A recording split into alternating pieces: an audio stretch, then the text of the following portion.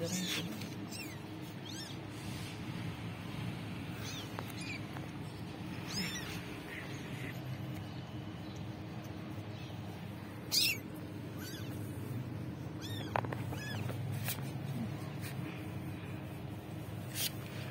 give it a minute.